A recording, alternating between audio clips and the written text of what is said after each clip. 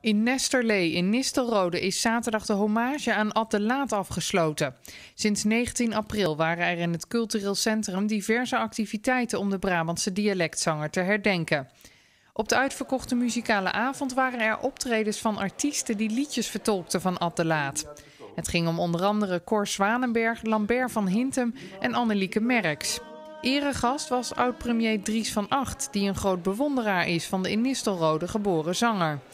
Hij opende eerder al een tentoonstelling over hem. Deze was tot zondag te zien. Attelaat overleed op 22 april 1995 op 48-jarige leeftijd.